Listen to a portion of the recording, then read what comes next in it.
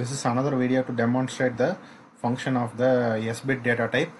So I'm going to, uh, so S-bit is, is the sense as I told you already, we can able to set the uh, any specific uh, bit of the special function register.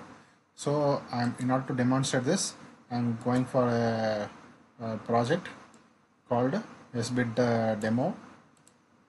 So I'm just opening this file. So first you let's try to understand the question. We are trying to get a status of the pin zeroth pin in the port 1 and we are trying to save it and then later we are trying to send it to the port 2.7. We are trying to read the status of the port 1.0 and then we are sending it to port 2.7. So this is the objective of this program.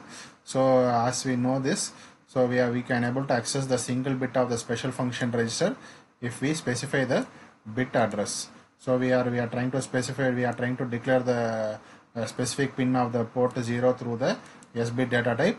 So I am declaring the port 1.0 as an input bit and port 2.7 as an output bit.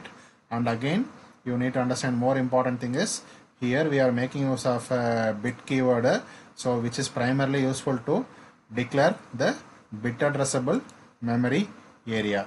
So uh, and again inside the main loop we are having an infinite loop so thereby uh, we are trying to copy the uh, value that has been read from the port 1.0 to some uh, to the uh, bit we are trying to copy into some bit uh, bit, bit addressable memory area location and then through which we are trying to send it to the output bit. The output bit was represented with the pin number port 2.7 so in order to in order to uh, test the test uh, test the functionality at first i'm uh, building the target. Zero errors and zero warnings in my code. I'm going for the debug. Start debug. So my checking whether my code is running within the code size limit yes.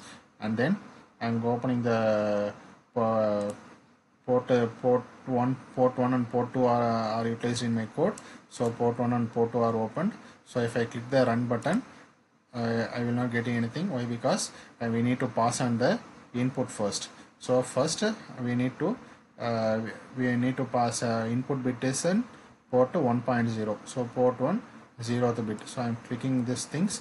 So if my port 1 first bit is 0 the same bit the same bit value is being copied into the port 2 seventh bit. So if i'm making this as high so i can able to you, you can able to the seventh bit in the port 2 will be will be uh, set. So if i'm clicking it as a low the seventh bit will become low in the port 2 so this is the logic of the program. I hope so. This video will be more helpful for you. If you like this video kindly like share and subscribe. Thank you